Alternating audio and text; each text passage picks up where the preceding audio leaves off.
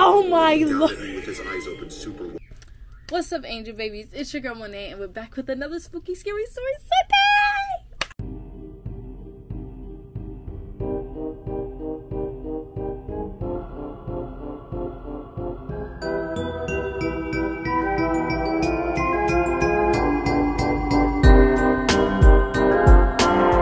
We're gonna be watching three scary, true haunted house stories, haunted house attraction stories by Mr. Nightmare.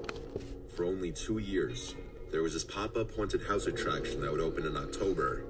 It was unofficially called Haunted Hill House because there was some sign that looked like it was bought from Party City or something that was propped in front by the parking lot, and it said Haunted Hill House. The parking lot wasn't actually a parking lot at all, just grass that was designated as a parking area. This was the year they closed down, and this was the year my friends and I went. I went with Matt, Michael, and Eddie. We went on a Thursday night because we were in college and all of us had Fridays off. So it was definitely quieter than it would have been on a weekend. There was surprisingly no line for the ticket stand, and when we followed the directions to the entrance, there was only a really short line there, I'd say like four people ahead of me. What we didn't realize though, is that they were only letting one person in at a time. We had no idea that was part of this haunted house. If anything, this would make it scarier.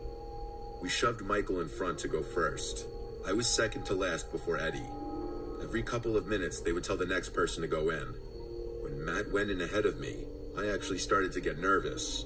I hadn't done a haunted house since I was a little kid and I was with my family. Then it was my turn to go in, as this woman dressed in some bloodied costume opened the door and told me to enter.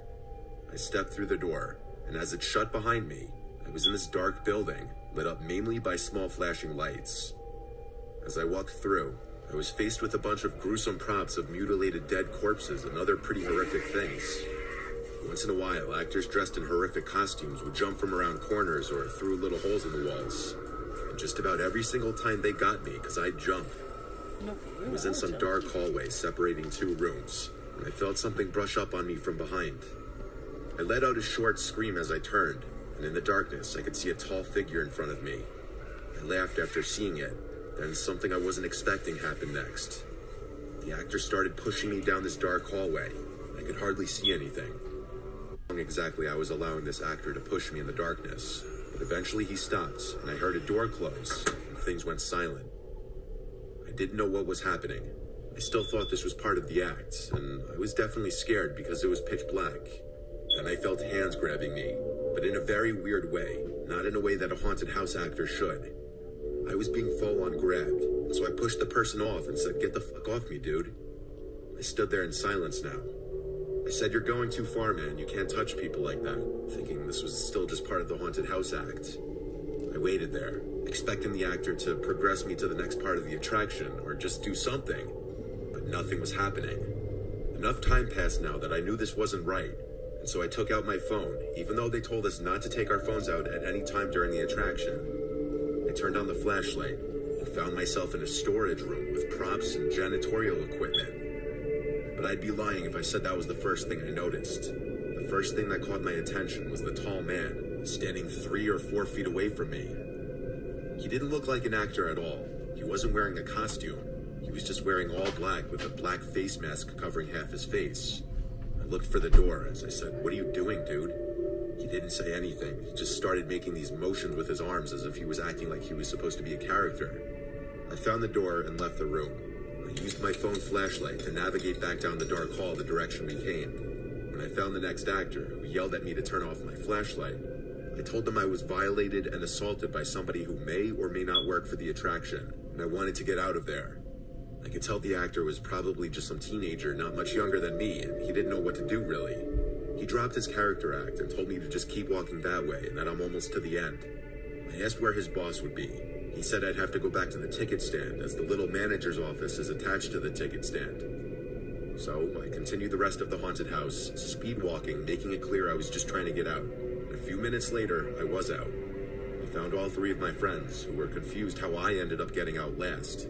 I told them what happened, and then we all went to the ticket stand, and I asked for the manager. The worker said that he wasn't there tonight, but that he'd be back tomorrow. I told the worker about what happened. She said she would alert the team about it. I requested my money back because of it. She gave me back my 30. It was the next day that a girl from our college who we all knew posted on Facebook that she was sexually assaulted by someone in the same haunted house the night before, the night we were also there. This was the reason the place was eventually shut down that month. I reached out to her on Facebook, it sounded like we had the same exact experience, only the aggressor got a lot more physical with her. She pressed charges on the owner of the attraction for, I'm assuming, negligence. The attraction staff, of course, swore that that man who assaulted the two of us didn't actually work there. I'm sure that's the truth, but I don't understand how they didn't have proper security measures in place to prevent something like this from happening. No, for real. Cause what the hell? This man probably went in there, bought a ticket, went in there, and he probably's been there for a while, or he probably used to work there, so he knows where everything is, and he probably just lured people and just so he could see what he could take. You're disgusting. You're a creep. Why? What's the point? Like, dang, are you that thirsty for some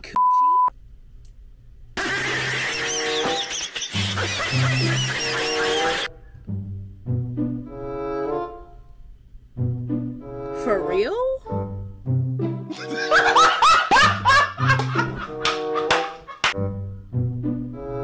Next story. Story number two. This was the first and last time I ever went to a haunted house attraction. I live in Fort Worth, Texas, and every year there's this big haunted house attraction that opens up. A few of my friends wanted to go this year, and I figured it's time I just finally experience a haunted house. For a little early context, I had a very troubled childhood that's caused me to develop PTSD, but I'll get more into that later. It was a weekend, so nobody wanted to go into this sober. My friend Noah hosted a little pregame for all of us.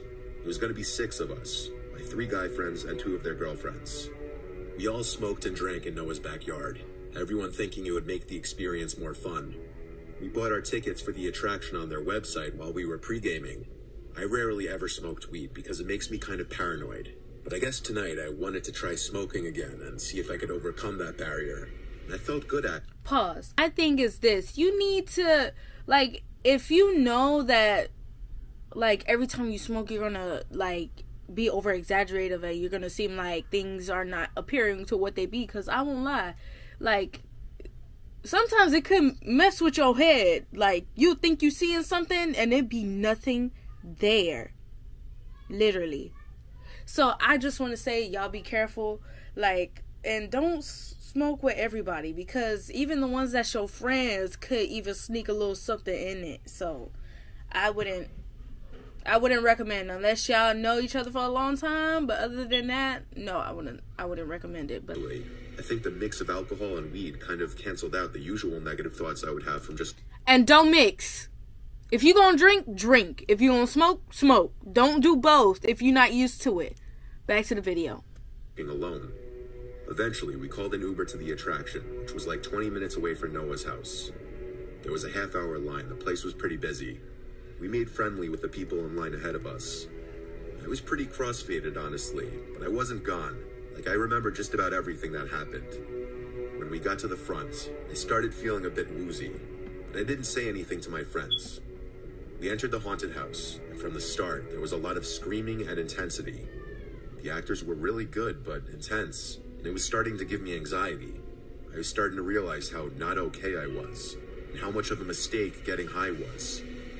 One of the haunted house actors must have realized how scared and quiet I looked, and he chose to get in my face trying to scare me, yelling and making noises. I'm not gonna lie, I was starting to internally freak out, but I was trying to keep it together in front of my friends. This haunted house was going on for what felt like forever, and in my condition, every single jump scare made me almost shit my pants. All the flashing lights and fog really made this whole experience even more trippy and surreal. We came to this room lit up with an eerie red glow, a bloodied man dressed as a guy in a suit and top hat yelling at us, part of the act. But behind him, in the corner of the room, was a guy who wasn't dressed as anything. He was just standing there looking at me, into my soul. And as I realized I was looking at the face of my father, I let out a scream straight from my stomach as I felt every hair in my body stand up. The room went silent, and my friends looked at me laughing at first, thinking I was joking around. But when they saw I was serious, One of the girls grabbed me and asked what's wrong. I said it's my dad. I pointed to the corner where there was now no one standing. I remember all my friends and the actor being confused, and everyone could tell I was not messing around. My friends knew about my troubled past. There's no one there, one of my friends said. The actor apparently asked my friends if I was okay. I was now in the middle of a full on panic attack, yelling, I want to leave, I want to leave. Noah left with me through a side exit, and he sat with me while our friends finished the attraction. It wasn't cheap, so I wasn't going to make them all come out with me. As we sat outside the place, Noah told me I shouldn't have smoked so much, as he tried to assure me that my dad wasn't in there. I was just hallucinating. So my father used to abuse my siblings and I. I'm the oldest, so I remember the most of it. He left us and our mom one day and never came back when I was 10. My close friends know about this to a certain extent, so I didn't have to explain to Noah. When our friends were done, they met us at a Wendy's nearby where I was just trying to eat to help calm me down. I was embarrassed, but my friends didn't judge, thankfully. Not to my face, at least. I went home earlier than everyone else. I didn't want to spoil their nights. Oh lord. When I got home, I knocked out right away. I guess because of how drunk and high I was. That night, I was having a nightmare about the scene at the haunted house. And my father, standing in the corner of the room, he was saying, Wake up, Charlie. And I did wake up. I woke up in my dark room in the middle of the night to see my father. Wow! my bed, Oh my lord. with his eyes open super wide. It was literally this towering, nine foot tall version of my father, bending down Yo, that's scary. Yo, that is creepy. Why? I didn't want to get scared. Yo, like, like I want to cry, but I don't want to mess up my makeup. Y'all know. What the f? What? Yo, let's get over story number two. his body contorting in an impossible way. When I saw it, it took me a few seconds for me to digest what I was looking at and scream straight from my stomach again. My mom came rushing in and turned on the lights, and the apparition was gone. My heart was racing and my blood ran cold. I cried to my mom that I saw dad. It was one of the most scarring nights of my adult life. I don't touch weed or any substances anymore besides light alcohol. Yeah, no, bro. Buddy is messed up after this. Like, what? Homie is messed up. He he ain't gonna be able to function for a, a good minute. Cause what? That scared me. And I'm not the one that's getting beat on. Like what? God bless America. Story number three.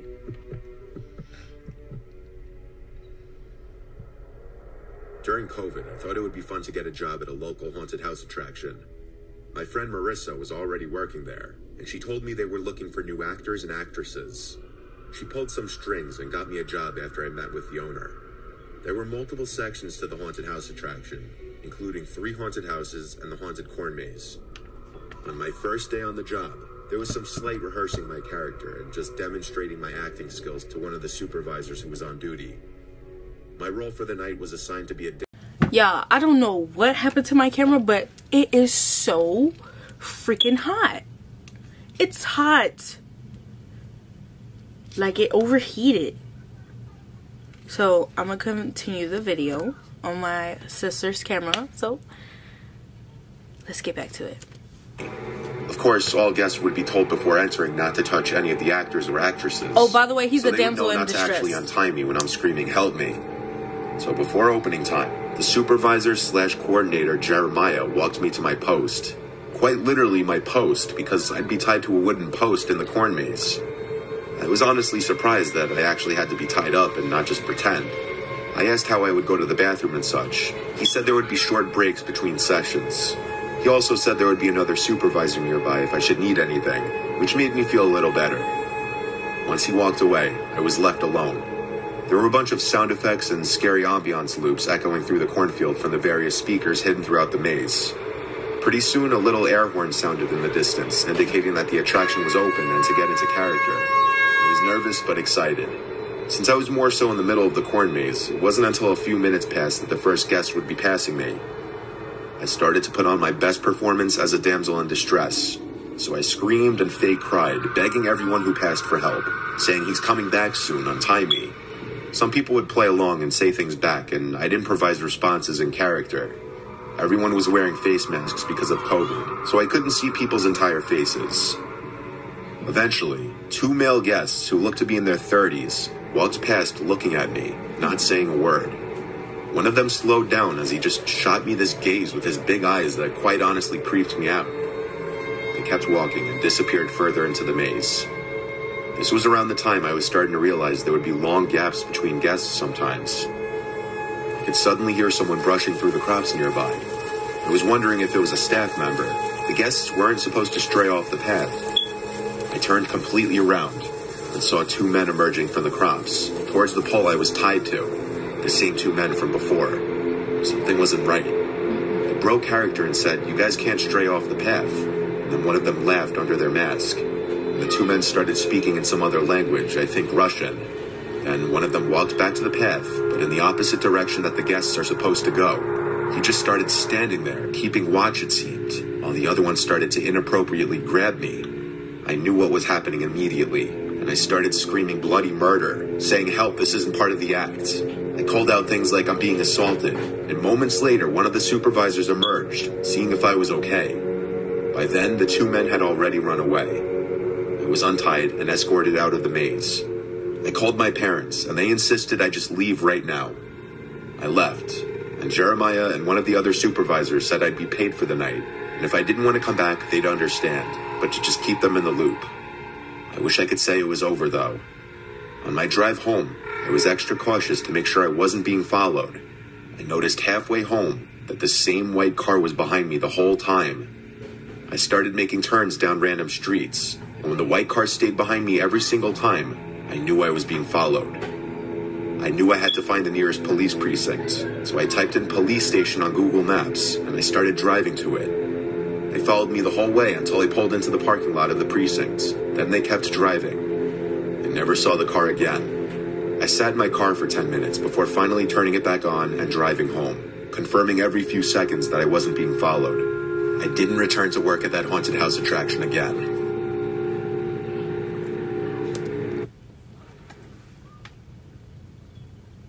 Like I said, people is. Like what? Like I'm convinced people nowadays don't get the kitty cat. People are weird. Like what's the point of harassing somebody? Like if you can't get it, you can't get it. Take no as an answer. Like it's not that hard. But y'all, that second story had me scared. Did y'all see that face? I know I wasn't tripping. Like, oh my God, that is so scary. I should have known when he said he saw his daddy in the hunting house. His daddy was gonna pop up in his house. Yo, without further ado, make sure y'all like, comment, subscribe. Click that bell to be notified when your girl drop another video. Cause, woof, I was scared today. Thank God I didn't watch this at no freaking 7. I would have had nightmares tonight, y'all. But thank God the video is over. I can pray and I could just get on with my day. So without further ado, I'll catch y'all in the next video. Bye, angel babies.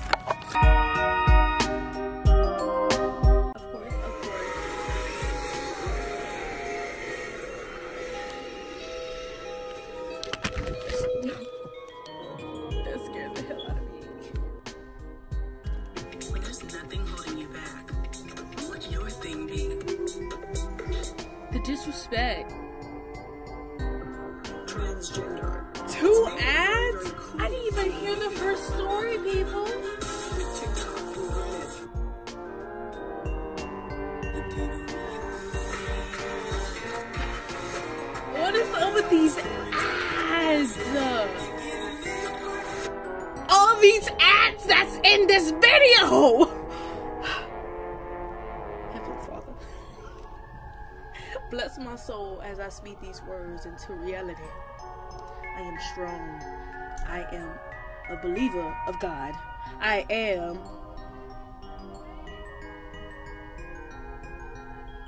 and I live in a loud house. And don't forget to like, comment, subscribe, click that bell to be notified when you go drop another video. Mm -hmm.